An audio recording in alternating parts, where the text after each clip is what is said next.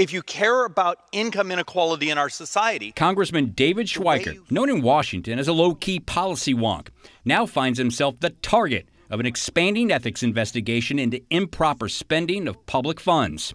Allegations that Schweikert's campaign originally said was an accounting error.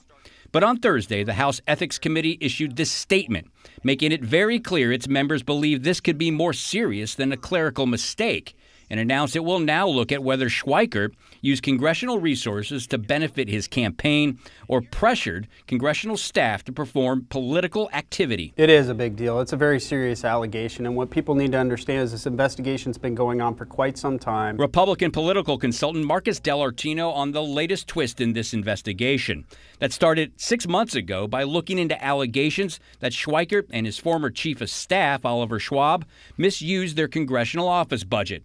This afternoon, a spokesman for the congressman issued a statement regarding the latest accusations that reads in part We are extremely confident that once that review is concluded, the concerns raised will be determined to be unfounded. Time will only tell, but right now, so far, this is a more serious allegation than we've been initially told. Since May, one month before the launch of its initial investigation, Schweikert's campaign has spent over $326,000, or 20% of all the money the campaign spent on legal fees. This includes more than $40,000 on legal counseling for Schwab, who resigned from Schweikert's office back in July. Yeah, absolutely. It's unusual. That's a significant amount of money to be paying attorneys. It tells you right up front that these allegations are serious.